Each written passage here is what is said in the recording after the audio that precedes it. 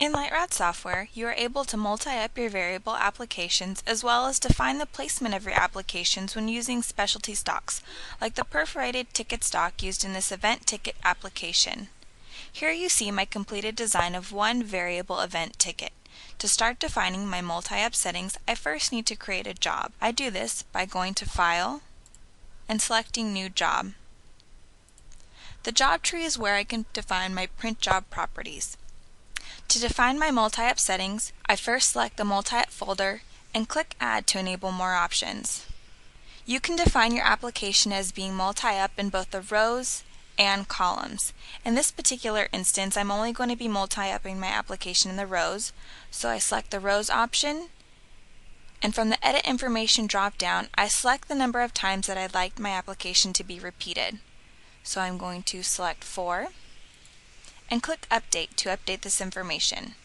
When using specialty stocks with specific margins, you can also set the dimensions of the margins using the Margin option. I select the Margin option, and from the Edit Information drop-down, select Yes, and then click Update to enable more options. Once I'm able to expand this option, you can see I can define each of the margins, left, top, right, and bottom. First I'm going to select the left margin and I can type in my desired dimensions. For the left margin, I would like it to be 0.627 inches. Next I click Update to update this information. So I'm going to continue defining my margins in the same manner by selecting which margin I'd like to change, using the Edit Information drop-down to change the information, and then clicking Update.